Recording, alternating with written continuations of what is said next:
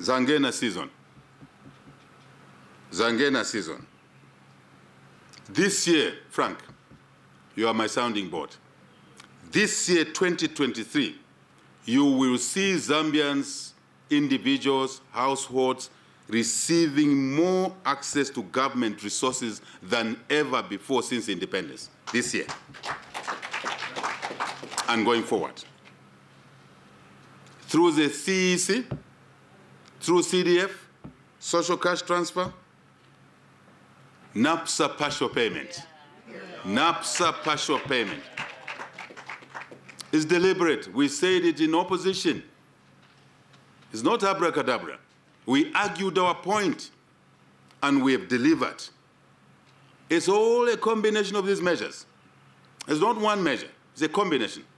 Already money is there. The doomsayers say, no, Agunamar. Ah, look, my friend, the numbers were crunched before the policy was put in place. And also the fund size and liquidity side were dealt with. Now you issue a statement to the public, scaring the public to say, Ndala Mazasira. There's planning to these things. There's no pension fund that keeps every asset in cash. There are different portfolios of cash. When you need, sorry, assets. When you need the cash, you then do what is necessary. Because in those categories the assets sit, you earn revenue, not consumption. We are also clear to NAPSA that they, can, they should stop investing people's money in wrong areas, as was happening for years and years.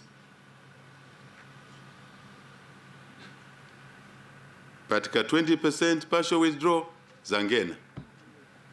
It is not a dream. It's there. My advice, our advice to the citizens, when you access that money, please invest in revenue generation. Build a small house so that you come out of renting, then you save money. That's my advice. We all start from there. Frank, my first house, my peers were laughing at me, was in Kalingalinga. That's what I could afford after university. But my friends were laughing at me. I said, but you, you are laughing at me, you have nothing yourself. At least me, have something in Kalingalinga. Get a house. Doesn't matter where it is, it's your house. Young people, please invest in the correct things first. Don't invest in a BMW before you have a two bedroomed house. Get your house first tamper your appetite for consumption. Then the country will be better because we ask for things that are not necessary, create pressures on ourselves on, and on the government and on the family.